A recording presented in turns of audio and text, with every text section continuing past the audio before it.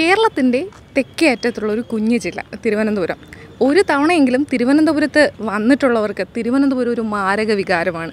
രക്ഷയില്ല. കാരണം തിരുവനന്തപുരം അങ്ങനെയാണ്.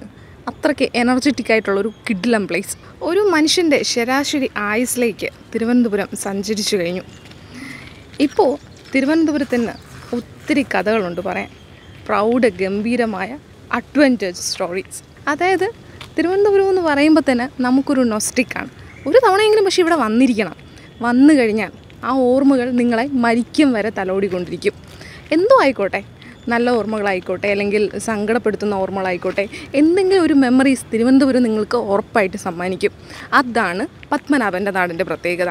എന്തൊക്കെയാണെങ്കിലും തിരുവനന്തപുരം എന്ന് പറയുമ്പോഴത്തേനും നമുക്ക് ഒരുപാട് പ്ലേസ് ഉണ്ട് തിരുവനന്തപുരത്തേക്ക് പോകാൻ തിരുവനന്തപുരത്തേക്ക് വന്നു കഴിഞ്ഞാൽ നമ്മൾ എന്തായിരുന്നാലും ഈ മ്യൂസിയത്തിൽ വന്ന് വരാതെ പോകത്തില്ല. അങ്ങനെയാണ് മ്യൂസിയത്തിന്റെ പ്രത്യേകത. ലവേഴ്സ് ആയിക്കോട്ടെ വയസ്സായിട്ടുള്ള ആൾക്കാരായിക്കോട്ടെ ആരായിക്കോട്ടെ കുഞ്ഞുങ്ങളായിക്കോട്ടെ എല്ലാവർക്കും മ്യൂസിയം ഒരു ഒരു പ്രത്യേകപ്പെട്ട സ്ഥലം തന്നെയാണ്. എന്തുകൊണ്ടാണ് തിരുവനന്തപുരം അല്ലെങ്കിൽ ഞാൻ ഈ പറഞ്ഞതൊക്കെ പുഴു കഥകൾ അല്ലെങ്കിൽ ഞാൻ ഈ പറഞ്ഞതൊക്കെ കള്ളത്തരമായിട്ട് നിങ്ങൾക്ക് തോന്നും?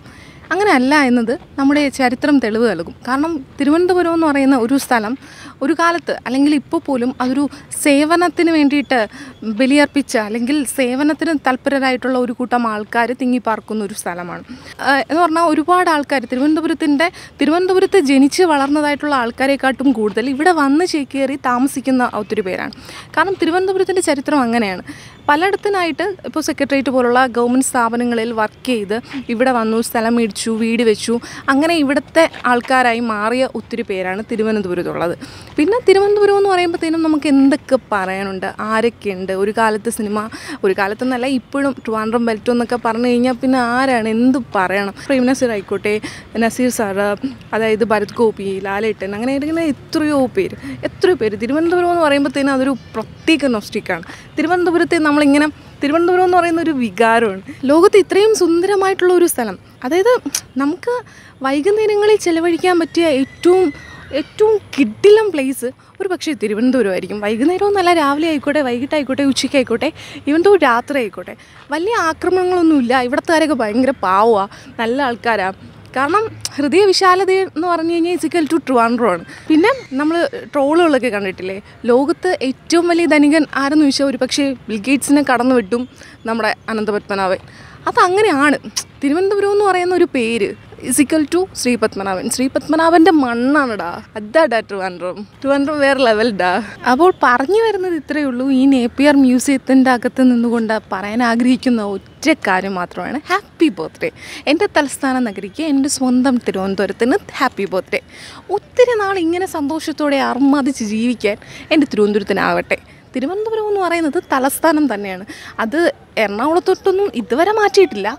തലസ്ഥാന നഗരിയുടെ പ്രത്യേകതകൾ ഒത്തിരിയാണ്. അത് പറഞ്ഞാലും തീരാതെ ഒത്തിരി ഒരായിരം കഥകൾ കൊണ്ട് നിറഞ്ഞതാണ് എന്റെ തിരുവനന്തപുരം. അതുകൊണ്ട് തിരുവനന്തപുരം എന്ന് പറയുന്നത് ഒരു വല്ലാത്ത വികാരമാണ്.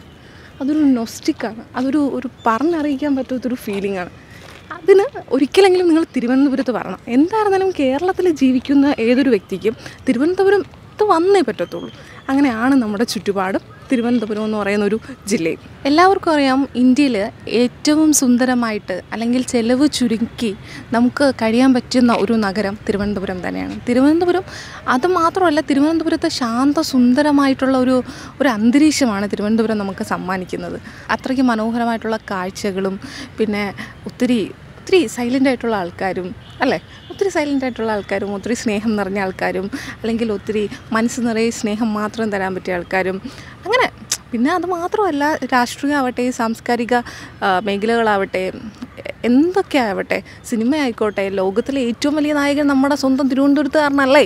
അപ്പോൾ അങ്ങനെ എന്തെങ്കിലും എന്ത് ഏത് മേഖലയായിരുന്നാലും തിരുവനന്തപുരത്തുകാർ ഒപ്പുവെക്കാത്ത ഒരു മേഖലയില്ല. കാരണം എന്താണ്? നമ്മൾ കേട്ടിട്ടില്ലേ? A P J Abdul Kalam Thumba rocket വിക്ഷേപണ കേന്ദ്രത്തിൽ സൈക്കിൾ ചവിട്ടി പോയ കഥയൊക്കെ. അദ്ദേഹം തിരുവനന്തപുരത്തിന് അത്രത്തോളം നെഞ്ചിലേറ്റിയിട്ടുണ്ട്. അല്ലെങ്കിൽ അദ്ദേഹത്തെ പോലുള്ള പ്രമുഖർ ഒത്തിരി പേരുടെ ജീവിതത്തിൽ തിരുവനന്തപുരം എന്ന് പറയുന്ന സ്ഥലം അത്രയ്ക്ക് നിർണായക സ്വാധീനം ചെലുത്തിയിട്ടുണ്ടെന്നാണ്. അത്രയ്ക്ക് നമുക്ക് ഇഷ്ടപ്പെടാം. ഇഷ്ടപ്പെടാമെന്ന് പറഞ്ഞാൽ ഈ അന്തരീക്ഷം നമ്മളെ അത്രയ്ക്ക് ഗാഠമായിട്ട് അങ്ങ് സ്നേഹിക്കാൻ പ്രേരിപ്പിക്കും. കാരണം ഒരിക്കലും നമുക്ക് വിട്ടകന്നു പോകാൻ തോന്നത്തില്ല. എപ്പോഴെങ്കിലുമൊക്കെ നമ്മൾ എവിടെയെങ്കിലുമൊക്കെ അകപ്പെട്ട് പോയാലും ആയിക്കഴിഞ്ഞാലും നമ്മൾ തിരിച്ചിവിടെ തന്നെ വരും. ഇല്ലേ? അപ്പോൾ തിരുവനന്തപുരം എന്ന് പറയുന്നത് അങ്ങനെയാണ്. തിരുവനന്തപുരം ഒരു വേറൊരു ഫീലാണ് പറഞ്ഞറിയിക്കാൻ പറ്റാത്ത ഒരു ഒരു ഒരു പൊളി സ്ഥലമാണ് തിരുവനന്തപുരം. അപ്പോൾ ആ തിരുവനന്തപുരത്തിന്റെ ബർത്ത്ഡേ ആണ് ഇന്ന്. ഇന്ന് പുള്ളിക്കാരനൊരു എഴുപത് വയസ്സായിട്ടുണ്ട്. ആ ഒരു ഗജവീരൻ ഇത്ര സ്മാർട്ടായിട്ട് ഇപ്പോഴും ഇങ്ങനെ തന്നെ ഉണ്ട്. അതാണ് തിരുവനന്തപുരം. തിരുവനന്തപുരം മുത്താണ് തിരുവനന്തപുരം പൊളിയാണ് തിരുവനന്തപുരം വേറെ ലെവലാണ് മലയാളി വാർത്തയ്ക്ക് വേണ്ടി നെജിത ക്ലൈമറ്റ്